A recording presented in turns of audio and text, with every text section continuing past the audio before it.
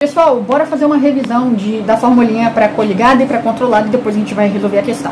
Então a gente pode ter uma coligada ou a gente pode ter uma controlada.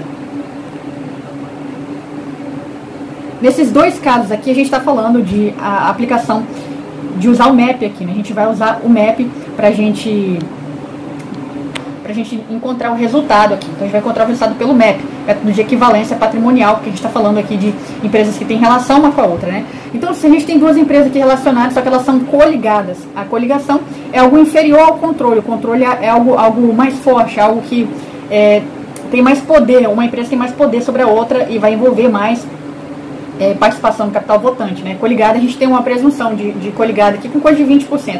A controlada tem que ser superior a 50% para ter essa presunção. Enfim, então quer dizer, coligada é, ela, ela tem uma força menor sobre a empresa que está sendo é, dominada aqui. Então na coligada a gente, o, o, pessoal do fórum trouxe uma formulinha legal para gente, a gente lembrar, para a gente pensar. Na coligada o L vem antes, por isso o lucro não realizado também vem antes na nossa fórmula. Qual que é a fórmula? A fórmula vai ser lucro líquido do exercício menos o lucro não realizado e daí a gente vai aplicar sobre o percentual aqui da participação.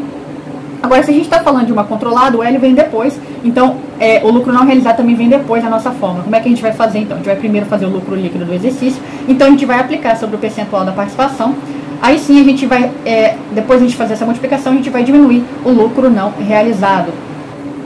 E aí, pessoal, a gente tem uma questão que ela traz até algumas informações já para dando a dica para a gente. Ó, empresa controlar, empresa controlar, detém 100% de capital. Então a gente vai, já percebe que vai ser uma controlada, né? Vai ser uma controlada. A gente vai usar a segunda fórmula que a gente pegou. Então o que, que a gente tem que fazer primeiro aqui? Encontrar o lucro não realizado. Como é que a gente encontra o lucro não realizado? A gente vai ver aquilo que houve de operação entre as empresas. Ó, a empresa só negar realizou uma venda para a empresa controlar. E aí o que aconteceu? Ela realizou essa venda aqui, é, foi vendido 3 mil, né? É uma venda no valor de 5 mil, quer dizer, a gente teve então, uma, apurando aqui esses 5 mil, 5 mil de, de receita de vendas, né? 5 mil de receita valor de receita e esses 3 mil de custo do produto vendido. Então a gente vai pegar os 5 mil e vai tirar 3, a gente vai encontrar então 2K aqui de lucro nessa venda. Beleza, a gente já encontrou o lucro. E o que está faltando para a gente ver aqui? É, vamos saber, a gente tem que descobrir se tudo o que foi, é, o, o, que uma vendeu para outra aqui, essas empresas, a gente está falando de, um, de um, uma operação com controle, né? Se tudo que foi vendido aqui pra, de uma para outra, se isso realmente saiu ou se está mantido no estoque. O que tiver mantido no estoque vai ser a participação que a gente tem. A gente vai ter que aplicar um percentual do valor total de estoque. Então vamos olhar agora nessa, nessa parte 3 aqui que ele fala, mantém seu estoque 1.500. Bom, então se ela tinha feito uma venda de 5 mil aqui, a gente tinha a empresa só negar vendendo para controlar, a controlar mantém no seu estoque 1.500. Então a gente vai fazer o nosso percentual de 1.5 sobre, opa, 3 não, sobre 5. Sobre 5 aqui, ó, que era o valor que a gente tinha, que a, gente, que a empresa Sonegar tinha vendido para empresa controlar, e a controlar manteve esses 1.5. Aí a gente faz esse percentualzinho aqui, a gente vai encontrar 30%.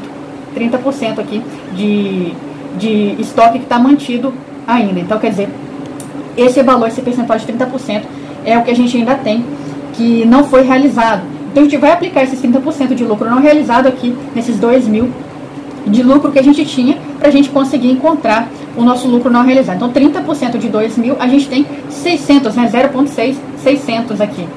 Como a gente está falando de 2K, eu simplifiquei tudo, então a gente pode colocar que foi 0.6. Vamos limpar tudo aqui, então a gente tem lucro não realizado igual a 0.6, ou seria 600 aqui. Certo, aí o que, que a gente tem que fazer agora? A gente tem que fazer a aplicação daquela fórmula que a gente viu no começo, como que era a fórmula. A gente está falando de um controle, a gente está falando de um controle, o L vem depois, né?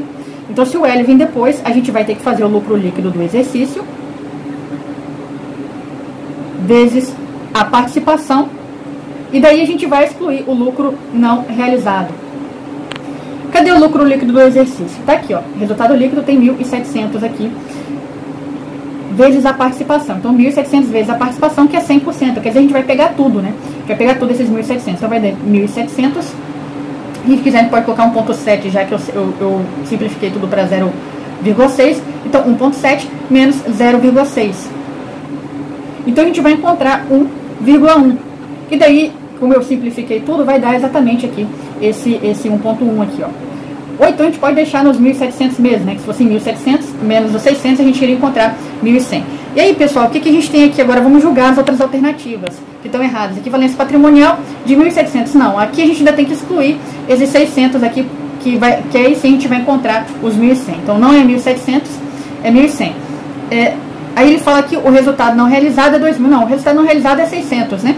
Então não é esse aqui também, né? Resultado de equivalência patrimonial, 300 negativo não foi.